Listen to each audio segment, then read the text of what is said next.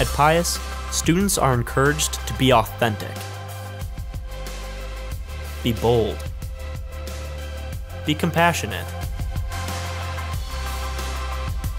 be a voice for others,